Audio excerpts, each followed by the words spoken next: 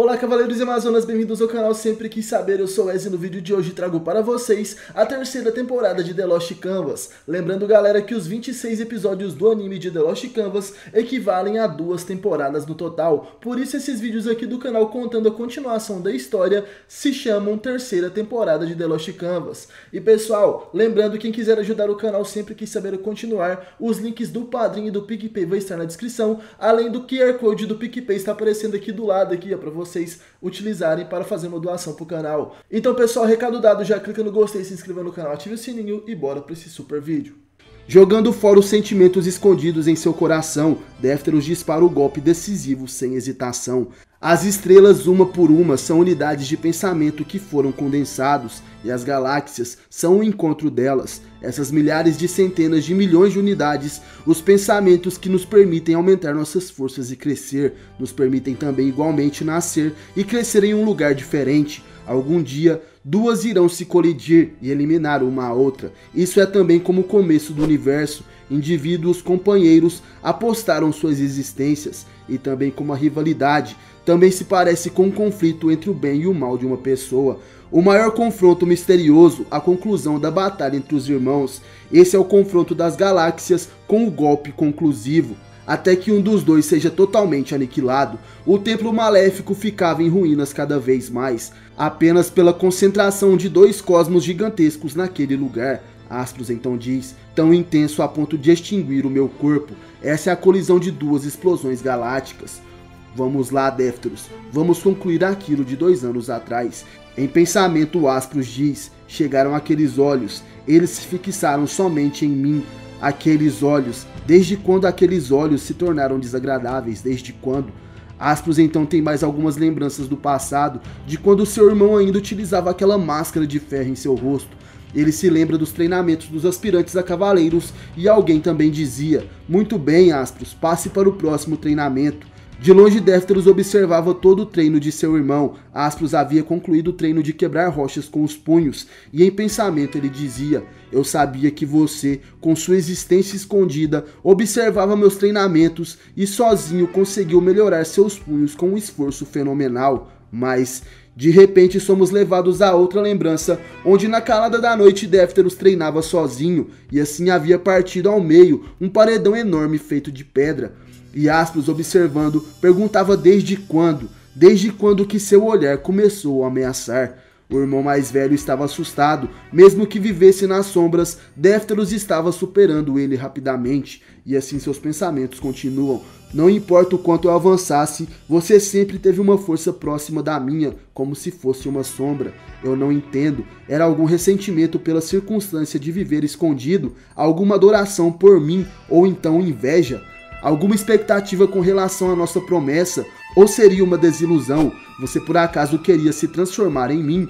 O ódio de Astros transbordava no presente e ele queimava seu cosmo com muita raiva de seu irmão. O antigo cavaleiro de gêmeos então diz: É isso mesmo, são desses olhos que eu estou falando, Défteros com sua raiva, está me olhando com esses olhos mortais. Eu estou com vontade de te esmagar cada vez mais. Afinal de contas, nós os gêmeos só lutamos, nós ameaçamos a existência um do outro, até que um de nós dois seja totalmente extinguido. Déftero sorri e diz: Eu também penso assim, irmão. Os irmãos gêmeos se atacam com sua fúria.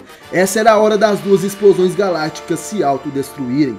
Astros versus Défteros. Após aquela grande explosão que abala todo o Lost Canvas, a poeira começa a baixar. Em meio às ruínas do templo maléfico, vemos alguém de pé, era Astros, utilizando suas sapores de gêmeos. À sua frente, podemos ver de pé também Défteros, que estava em posição de ataque, porém no chão atrás dele estava coberto de sangue. Seu irmão Aspros então diz: Esse é o fim. Assim como eu pensava, aquele que foi derrotado foi você, Défteros. O cavaleiro de gêmeos coberto por sangue olhava seu irmão seriamente e de repente se pronuncia: Certamente esse é o nosso destino, de luz e sombra que estão juntos. É realmente uma bobagem de irmãos. Desse modo, finalmente podemos nos falar olhando nos olhos um do outro, com tranquilidade. Finalmente, desde aquele tempo, agora está tudo bem. Déftero sorri e continua dizendo: O meu golpe com certeza atravessou a sua mente. Eu superei. Astros então pergunta o que seu irmão estaria dizendo. Porém, sem perceber, uma lágrima de sangue escorre por seus olhos. De repente, Aspros se assusta e ele sente o um impacto. Seus cabelos negros voltavam à cor azul natural dos irmãos gêmeos. Seus olhos também voltavam à cor normal. Ele olha muito assustado o seu irmão Défteros que parecia feliz com aquilo. Em pensamento, Aspros diz: A minha sombra, você é uma réplica. A minha metade com a mesma força. Aqueles olhos.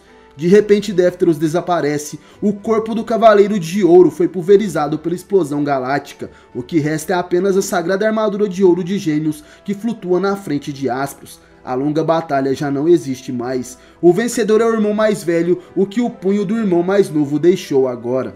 Aspros diz: Meu tolo irmão mais novo, você rejeitou sem hesitação seu ego, que você tinha forjado com a intenção de me derrotar. Assim a nossa luta, aquela por individualidade, simplesmente terminou, mas isso é doloroso. Eu sinto como se tivesse perdido metade do meu corpo. As lágrimas de sangue cobrem o rosto de Aspros, e voando, o manto de grande mestre chega até ele, que continua dizendo: É uma existência fragmentada agora. Eu terei cuidado com essa metade que sobrou, não é mesmo, Défteros, meu irmão? Avistamos assim o último templo maléfico, o ateliê onde se encontra Hades. Astros utilizando seus sapures e o manto de grande mestre chega até o local. Hades então pergunta: Você alcançou o seu desejo? Sua ambição de controlar a terra agora está completa? Aspros então responde: Sim, Vossa Majestade, e graças à vida que você graciosamente me deu e que me salvou da morte. Hades diz que sentiu o cosmo de Aspros durante a batalha e assim lhe dá os parabéns. Ele também diz: Parece que sua antiga cor do cabelo voltou ao normal, não é verdade? Eu gostava daquela outra cor, ela representava sua insistência de voltar à vida que estava presa em sua alma, a cor de uma determinação inacreditável. Astros então responde: aquela cor que havia tingido meu cabelo foi criada através do Satã Imperial. E por isso, aquela cor negra foi apagada após eu testemunhar a morte de alguém. Nesse caso, foi a morte do meu próprio irmão. De repente, Aspro salta em direção de Hades, que pintava o Lost Canvas. Seu intuito é atacar o deus do submundo. Após perder seu irmão, o antigo Cavaleiro de Gêmeos toma de volta sua consciência. Hades diz que entende e nem sequer ele se vira, e assim de costas, ele consegue parar a mão de Astros com apenas um pincel. A batalha final entre Astros e Défteros aconteceu. Astros saiu vitorioso, ou melhor, ele sobrevive, já que Défteros se sacrificou para abrir os olhos de seu irmão gêmeo. Seu golpe atingiu a mente de Aspros, que se livrou do Satã Imperial que ele mesmo havia disparado em sua mente há dois anos atrás. Aspros vai até o ateliê de Hades e lá tenta contra a vida do deus do submundo, que defende seu golpe com apenas um pincel. Hades então diz: Realmente você não muda, Aspros, você é sempre muito astuto. Mesmo entre os humanos, você é a criatura mais pecaminosa que existe. Não contente em almejar o trono de grande mestre, também assassinou seu próprio irmão. E finalmente você levanta seus próprios punhos contra a pessoa que te deu a vida. Isso é ridículo. Sua cor aborrece meus olhos. É melhor que você morra logo. Hades está irado e ele se vira e com seu pincel atinge Aspros que é jogado para longe. De repente, o chão começa a se transformar em magma e Hades assustado pergunta: Por que você não se transformou em cinzas agora?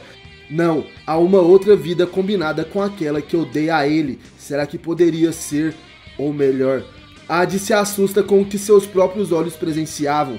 Por baixo daquele manto que se derretia com o magma, a sapures de Aspros começava a se tornar dourada, e ele então diz para Hades: Essa vida não é algo que você possa controlar conforme seu desejo. Aquela vida ridícula que você havia me dado não poderia entrar em harmonia comigo. Ela nunca queimaria assim. Nenhuma vida é maior do que a do meu irmão mais novo. A Sapures de Astro se despedaça por completo e por baixo dela ele trajava armadura de ouro de gêmeos. E graças à vida de Défteros que deixou seu orgulho de lado, se sacrificando por seu irmão, Aspros herdou sua armadura, sua vida e até mesmo seus poderes. O signo de gêmeos agora estava completo. Hades, sob aquele magma, ainda não consegue acreditar. Ele diz: Incrível, a armadura de ouro. Como pode vesti-la sendo que fui eu que te deu este corpo? E Astros responde: Foi porque essa armadura sempre foi parte de mim. Nós dois finalmente tomamos a forma que sempre deveríamos ter. Nós estávamos em constante oposição, como se fôssemos luz e sombra. Então agora não há mais luta entre nós e não precisamos mais cometer crimes para nos proteger.